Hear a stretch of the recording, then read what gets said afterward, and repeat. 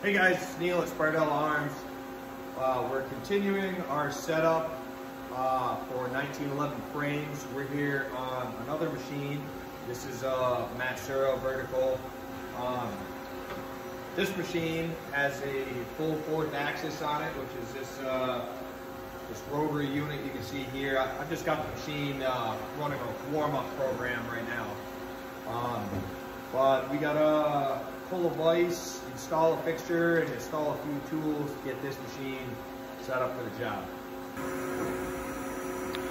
So here's a closer look at the machine while it's uh, running its warm-up program. It got the spindle going. It kind of moves all the axes around a little bit. Uh, gets everything moving and warmed up. Get the get the automatic oiler uh, uh, working. So um, this particular machine, I have tooling that remains set up. Uh, th this machine cuts slides and frames, so you know it. I can pull my slide tools out and label them and put my frame tools in. The offsets stay in the machine and uh, uh, you can see on my fourth axis here, I've got a, uh, I call it a quick change adapter plate with three pins so that you can uh, quick swap fixtures and you don't have to re-indicate them. Um, so this is kind of a dedicated machine for slides and frames. All right, so here we are uh, looking inside the machine. Now, I have to pull this vise right here uh, because my fixture is, that bolts to the fourth is approximately this big. I don't have to move this vise right now, so I'm, I'm not going to. Um, you know, typically in a machine shop, if you've got a vise or a fixture set up and you don't have to move it, just leave it in because you don't know if maybe I have to run a quick little job in this vise or, you know, uh, something. So I'm gonna leave that and just pull this off.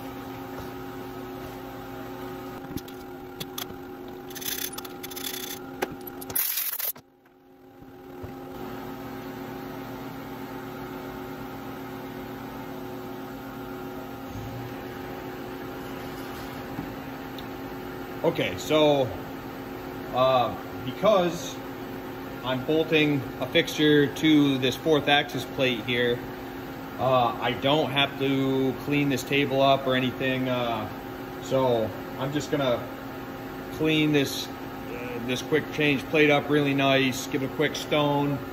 Um, my fixture has matching uh, precision holes that uh, these pins lock into to align it.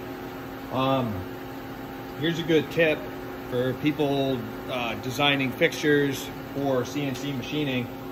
Um, you can see I've got three pins and they're not equally spaced around the adapter plate, which means, uh, you know, basically the fixture can only go in one way.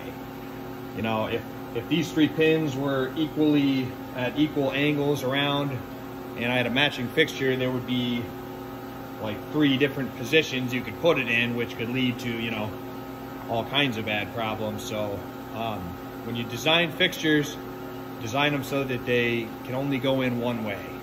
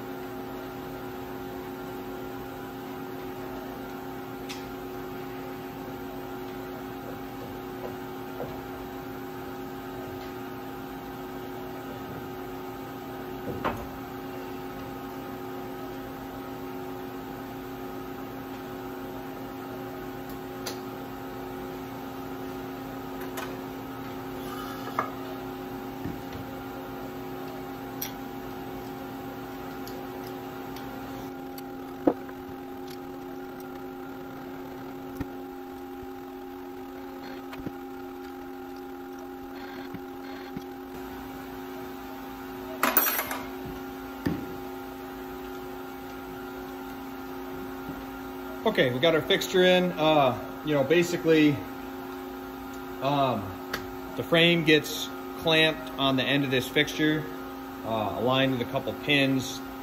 This is, uh, you know, one of the later ops after there's there's some features already machined in the in the frame. Um, and basically, because this rotary axis turns, I can hit all kinds of features. Uh, the the slide rails, the dust cover area, um, the the vertical impact surface, the barrel bed, um, the uh, magwell, stuff like that, all gets machined in this fixture in this machine. Um, the some of the most critical work, like the the rail tolerances, are done in this machine. Uh, it actually does the the slide rails as well. So a lot of lot of precision work gets done on this machine. Um, but uh, all comes down to tooling and fixturing and, and programming. So.